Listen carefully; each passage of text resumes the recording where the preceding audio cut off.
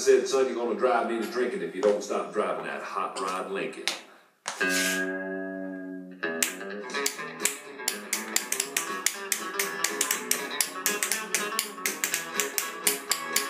you heard the story of the hot rod race when the Ford and the Lincoln were set in space? That story's true, I'm here to say, cause I was driving it, Model A. It's got a Lincoln motor in it, it's really souped up, and that Model A body makes it look like a pup. It's got eight cylinders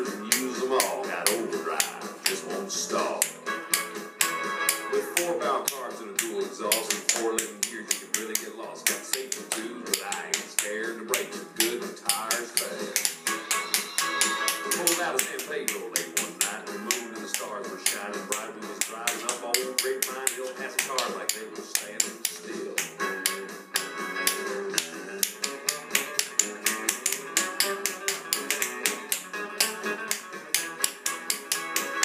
All of a sudden, in the wink of an eye, a Cadillac sedan passed us by. I said, boys, that's a mark from me. By then, the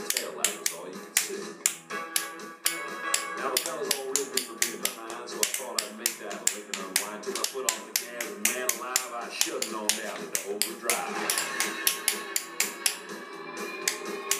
Well, I wound it up to 110. My speedometer said that I'd hit top end. My was glued like lead